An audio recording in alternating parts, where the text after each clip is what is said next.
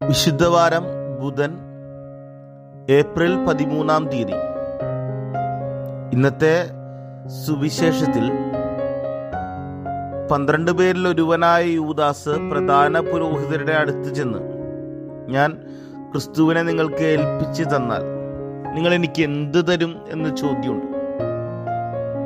പ്രിയുള്ളവരെ നമുക്ക് എന്ത് കിട്ടും എന്നൊരു ചോദ്യം അത് മനുഷ്യ കുലത്തിന് എന്നുണ്ട്.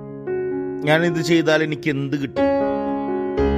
എന്തെങ്കിലുമൊക്കെ കിട്ടാനും എന്തെങ്കിലുമൊക്കെ നേടിയെടുക്കാനുമുള്ള തത്രപ്പാടാണ് ഇപ്പോ നമ്മുടെ ജീവിതം.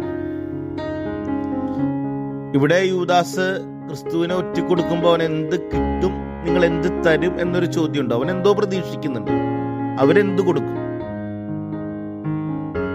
ക്രിസ്തുവിനെ മുപ്പത് വെള്ളിക്കാശോളം വില കുറച്ച് കാണിക്കാൻ ഒരു ശിഷ്യൻ നടത്തിയ വിഫല ശ്രമമാണ് ഒറ്റിക്കൊടുക്കൽ. ക്രിസ്തുവിന്റെ വില മുപ്പത് വെള്ളിക്കാശാണോ? ചോദ്യമാണ്. മുപ്പത് വെള്ളിക്കാശോളം ക്രിസ്തുവിനെ വില കുറച്ച് കാണിക്കാൻ ഒരു ശിഷ്യൻ ചെയ്ത വിഫല ശ്രമത്തിന്റെ പേരാണ് ഈ ഒറ്റിക്കൊടുക്കൽ എന്നുള്ളത്.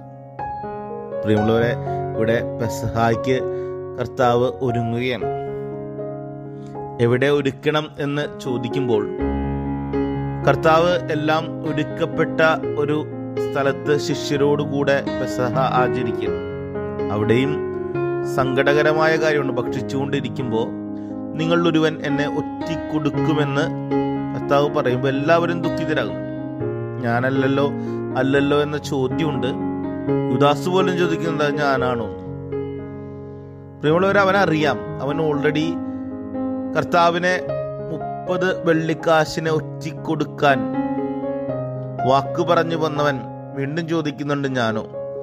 ഇത് ചില കപട മുഖങ്ങളാണ്. നമ്മുടെ ജീവിത സാഹചര്യങ്ങൾ നമുക്കറിയാം. നമ്മുടെ വഴിതെറ്റലുകളും വഴിമാറി നടപ്പുമൊക്കെ നമുക്കറിയാമെങ്കിലും നമ്മൾ മറ്റുള്ളവരുടെ മുമ്പിൽ അത് ഞാനാണോ എന്നുള്ളൊരു ചോദ്യമുണ്ട്. പ്രിയമുള്ളവരെ ഇവിടെ യൂദാസ് വഴിതെറ്റിക്കൊണ്ടേയിരിക്കുക മുപ്പത് വെള്ളിക്കാശോളം കർത്താവിനെ അവൻ വില കുറച്ചു. ഗുരുവിനെ അവന്റെ കീശയോളം നിറയ്ക്കാൻ ശ്രമിച്ചപ്പോൾ അവന് വഴിതെറ്റി.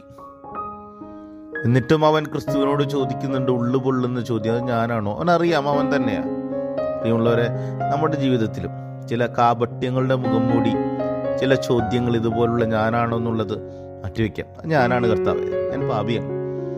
അത് അങ്ങയുടെ കൂടെ നിൽക്കാൻ എന്നെ എന്നും അനുവദിക്കണമെന്ന് പ്രാർത്ഥിക്കാം. ഇനി വിശുദ്ധമായ ദിവസങ്ങളിലേക്ക് പ്രവേശിക്കുമ്പോൾ ഒരു മനോഭാവം നമ്മുടെ കൂടെ ഉണ്ടാകട്ടെ. ദൈവം അനുഗ്രഹിക്കട്ടെ.